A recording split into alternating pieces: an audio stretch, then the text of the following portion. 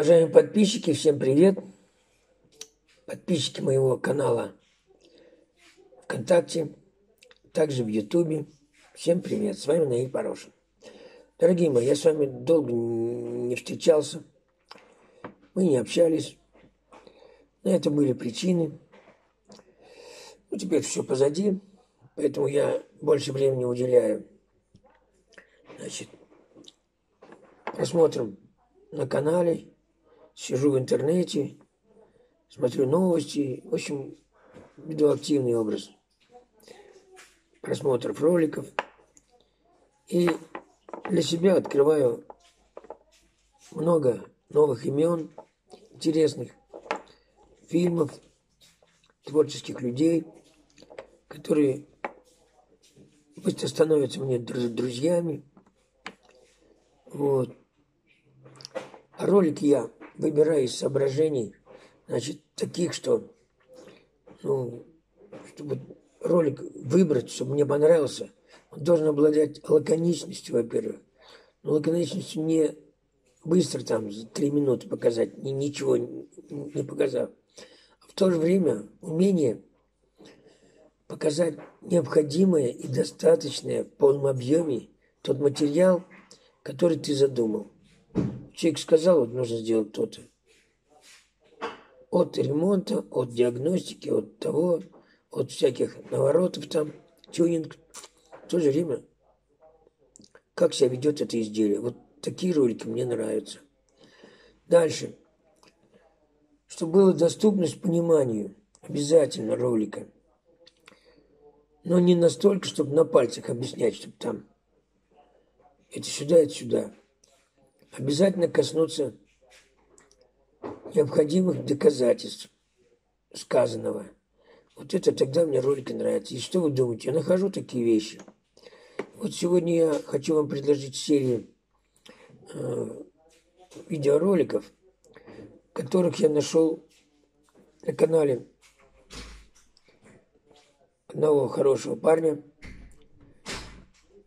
А почему хороший? Может, вы сами в этом убедитесь. Действительно, очень творческая личность. Интересный парень. Живет он в Германии, ребята. Вот. Город Оснабрюк. Звать его Андрей Руснак. Ребята, вот там русскоязычные немцы имеют много наших машин. Ретро-автомобили имеют. И вы знаете, он очень здорово справляется с э, восстановлением, с постановкой этих, этих машин на ход, э, ремонтирует топливную аппаратуру, систему зажигания, ну, все, что касается чтобы автомобиль работал хорошо. И вот сегодня, значит, вашему, я почему его выбрал? Ну, не то, что из-за этого, только из-за этого выбрал его. Но я наткнулся на его ролик, как он из карбюратора 4178, я туда очень много отправил этих карбюраторов. Да, они немцы сами привезли туда такие карбюраторы. Значит, слухи о их, их отличии в хорошем смысле этого слова, быстро, видать, распространяется по белу свету. И все там УАЗики, а у них много очень УАЗиков, Волги, старые Волги, 21 там, все ездят на карбюраторах 4178. Вот, и все довольны. Благодаря вот, в том числе и этому Андрею Руснаку. И вот сегодня, значит, я хочу вам пожелать приятного просмотра его фильмов. Я буду уже, это сегодня только вступительное слово к ролику, а роликов будет таких много, и вы будете знать, я их обозначу, первую, вторую, третью, четвертую, пятую, шестую часть, там, сколько у него будет частей, столько буду показывать. Вот. Кому это интересно, будет, будет материал интересен. Ну, кому интересно, не смотрите. Вот, ищите свои ролики. До новых встреч. До новых роликов. С вами был Наиль Порошин. Всем привет. Так, ну вот, на фоне вот этой прекрасной КАЗ-2410, не видно, друг закрыл собой машину. Купил машину ГАЗ-2410. Так, мотор. Сейчас будем разбирать. Вот как она в идеале была. Так мы и начинаем работу. Стоит уже карбюратор DAS 4178. Сейчас посмотрим, 30 это или 40 -ка. Да. Будем идти изначально от свечей зажигания.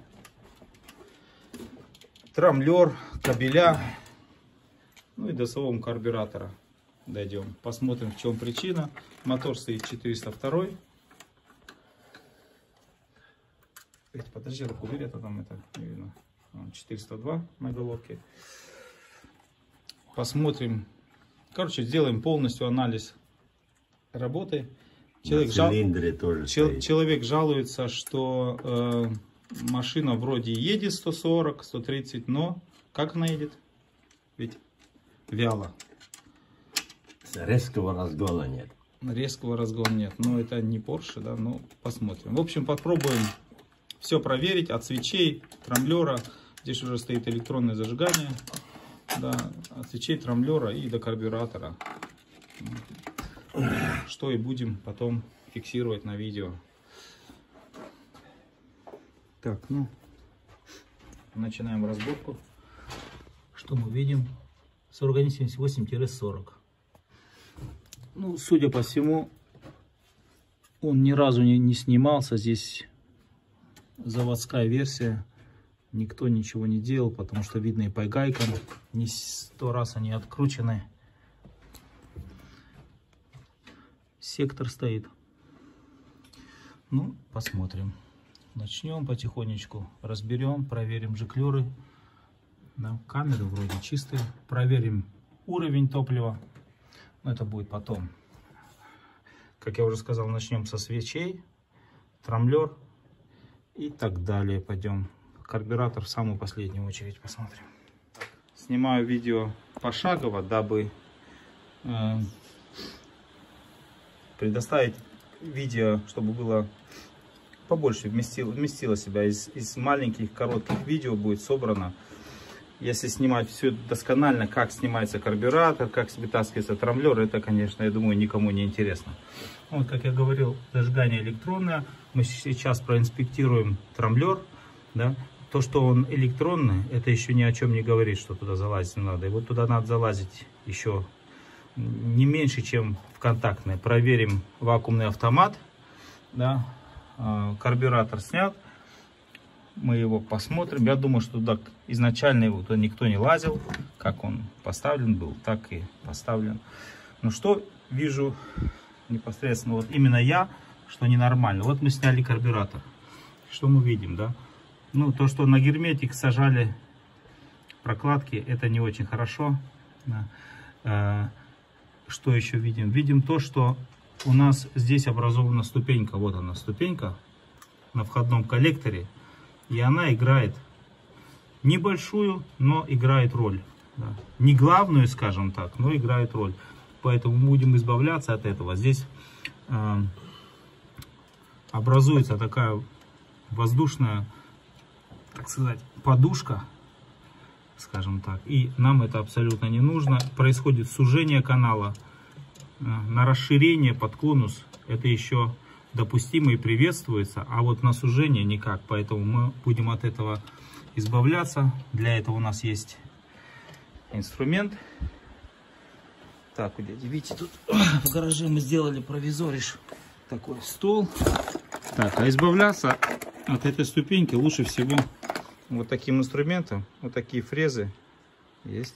Да, делается очень быстро, очень просто. 20 минут и проблемы нет. И всю жизнь наслаждаешься, как машина едет. А это дает очень хороший эффект. Вот будем мы сейчас этим заниматься. Естественно, все прокладки, все пойдет новое туда. Да. А детальную подгонку я покажу чуть-чуть позже. Так, ну вот очень часто люди не придают значения вот этой термопроставки и ставят ее как из завода покупную. Но они очень часто бывают кривые. Особенно если черного цвета, из такого текстолита, они все кривые. Их надо обязательно притирать, обязательно. Ну, вот здесь мы видим, даже невооруженным взглядом, да, что она кривая. Здесь у нас, помимо трещины, да, выпуклость, вон видно, да, что она не прижималась плотно. Вот.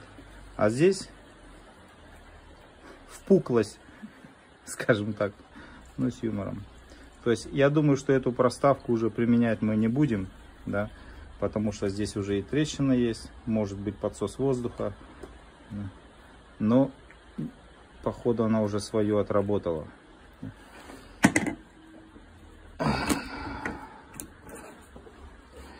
У меня есть другая.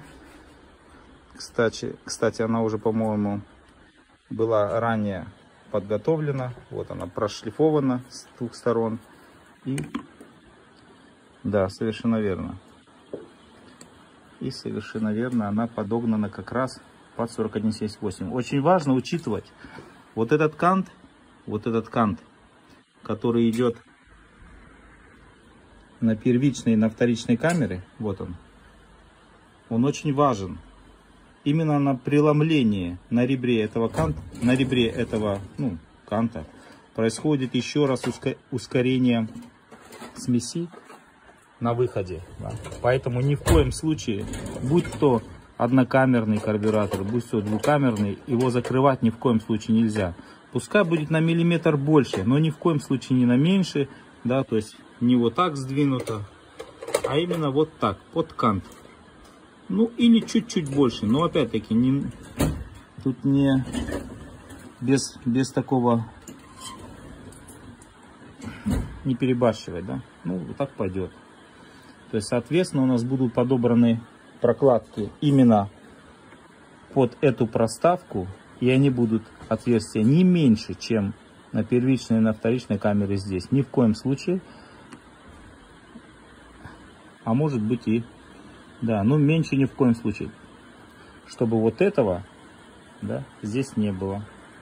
Это очень важно. И, соответственно, потом это будет все ложиться на входной коллектор. И, соответственно, здесь эти выступы будут сглажены фрезой. Продолжаем работу. Так, ну, эта проставка нам тоже не пойдет. Тех случаях, когда входной коллектор имеет вот такую форму восьмерки, то ложить просто прокладку и сверху на него карбюратор ни в коем случае нельзя, потому что площадь очень маленькая этих ребер, и она выдавит прокладку бугром или же проставку. Вот как в данном случае. Вот эта восьмерка, она обязательно сделает из проставки вот то, что мы здесь видим. Здесь выпуклость, да, а здесь, скажем, впуклость. Ну вот и трещина.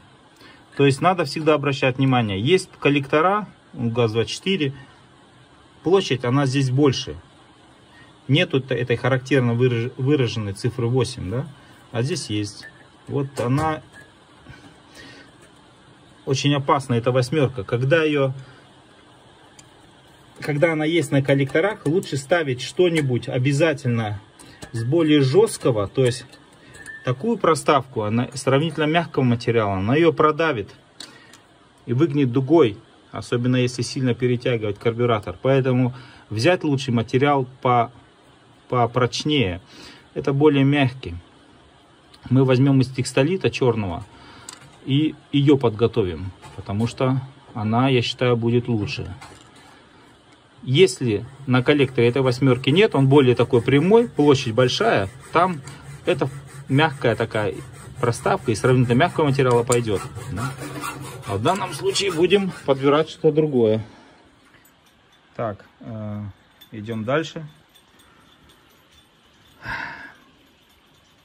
Зачистили плоскость, поверхность карбюратора здесь, которая будет прилегать к проставке. Тоже очень важно.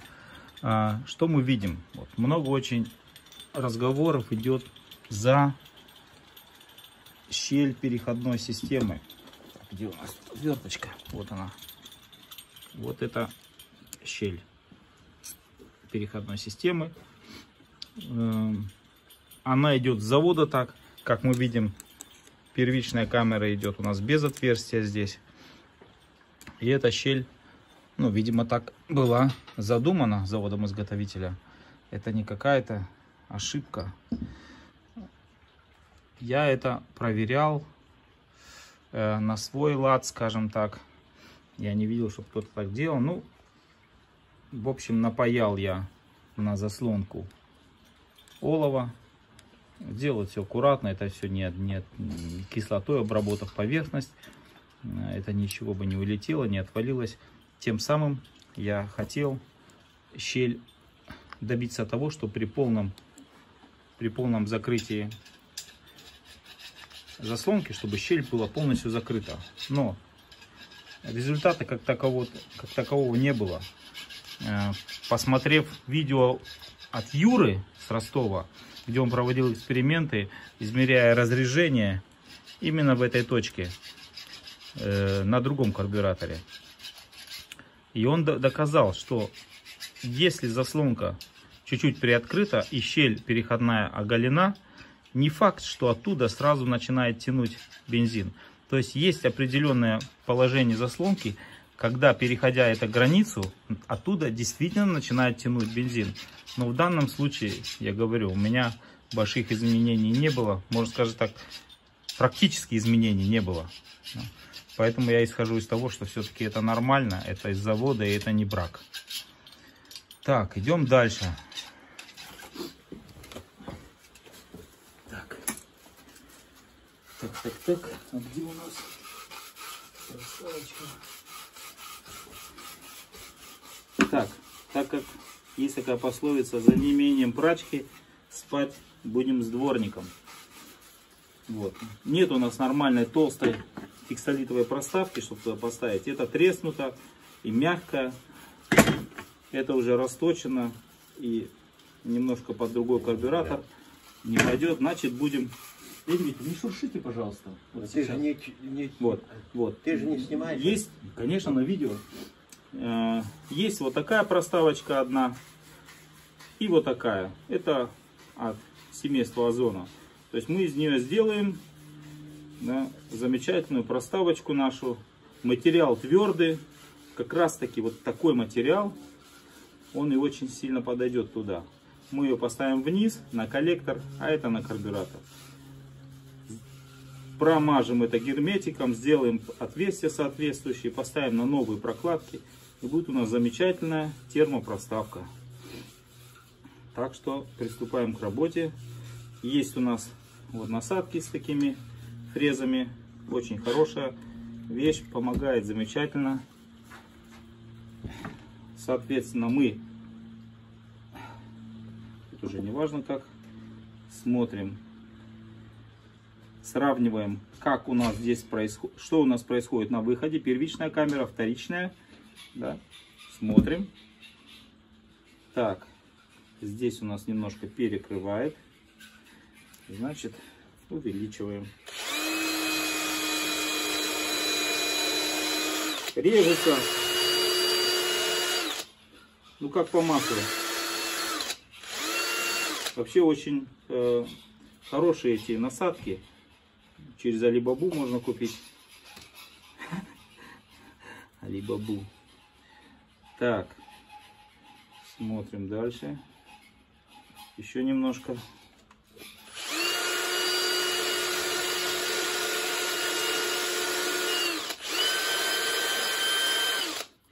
Конечно же, AliExpress. AliExpress. Так.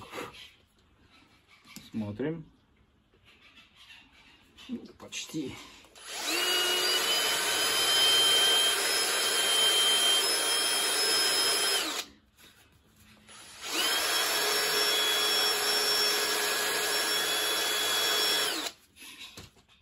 Так.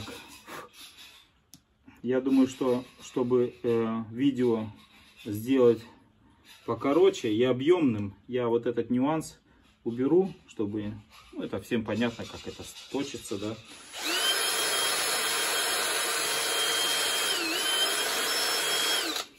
А потом уже покажу, результат, что у нас получилось. Так. Еще раз. Как я уже говорил, очень важно, очень важно, чтобы ни на миллиметр этот э, скос на выходе первичной или вторичной камеры, неважно, или если это однокамерный карбюратор, ни в коем случае, чтобы он не был перекрыт ни на пол миллиметров, ни на тем более миллиметр. Да. Ну вот так уже хорошо. Вторичка готова. Первичка тоже, в принципе. Теперь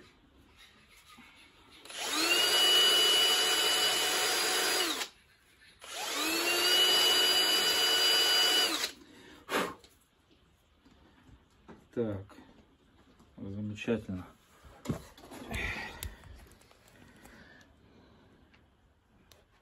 Вот. Ничто у нас не перекрывает. Ну, по первичке еще можно немножко снять, хотя не факт. Теперь мы, вот как она лежит, первичная, вторичная, вот так же мы и уложим ее на коллектор и смотрим.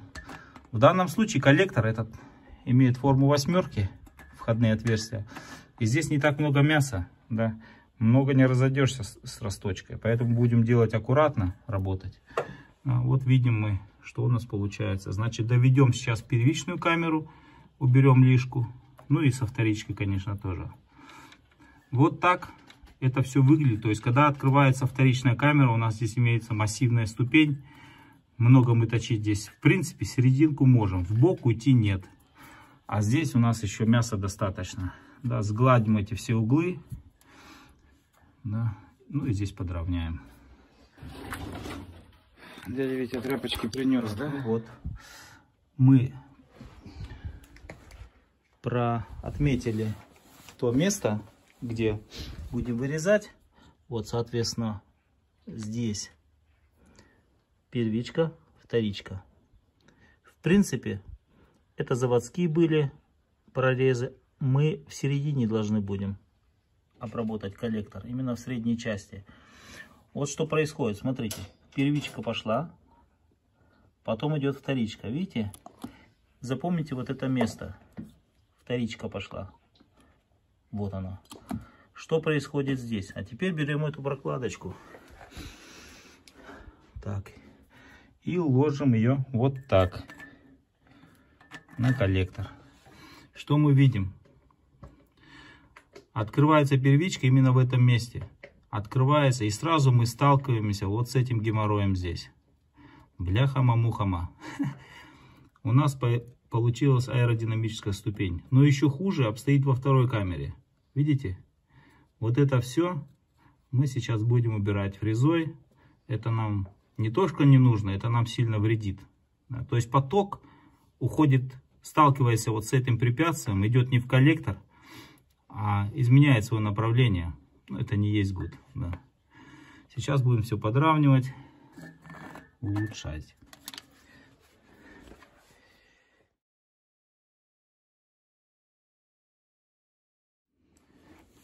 Так, ну, начнем.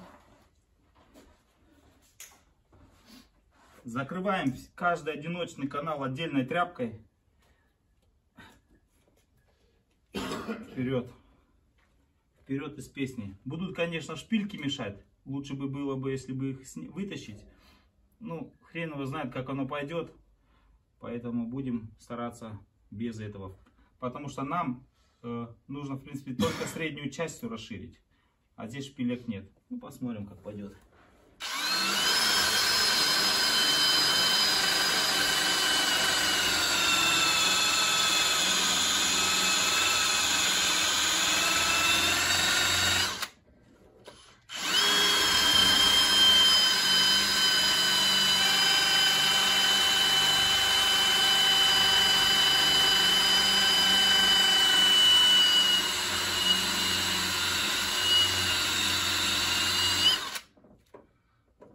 режется довольно-таки хорошо. Я сейчас видео выключу, потом уже покажу, что получается. Ну вот первые, первые срезы. Да. Все нормально, легко режется. Теперь смотрим результат работы. Вот так это выглядит. Первичка. Все нормально. Проставка переходит сразу в отверстие. Вторичка тоже нормально. Что у нас восьмеркой стало? Еще достаточно места, все нормально. Больше уже желательно и не надо, да и не нужно оно никак. А так все шикарно. Теперь мы сопоставим эти отверстия. Дядя Витя пропылесосит между делом это все изнутри. Вытащит кляпы. Советую в каждый патрубок по отдельной тряпке завивать. Удобнее. Уже раз 20 проверено. Так, теперь мы так делаем все как в той пословице на коленке. А, сопоставим отверстия проставки с отверстиями в карбюраторе. Так, особенно нам важны вот эти области. Именно там, где открывается первичка и вторичка. Вот здесь. Вот здесь выходит поток и отсюда начинает выходить. Все нормально. У нас здесь перекрытия нет. Все шикардос. Теперь сделаем, соответственно, может мы колхозим, да, соответственно, еще это, чтобы была одна толстая проставка. И потом подберем под них новенькие прокладки. И также прокладки фрезами расширим, чтобы они совпадали, совпадали один к одному. Чтобы не было перехлестов ни в коем случае.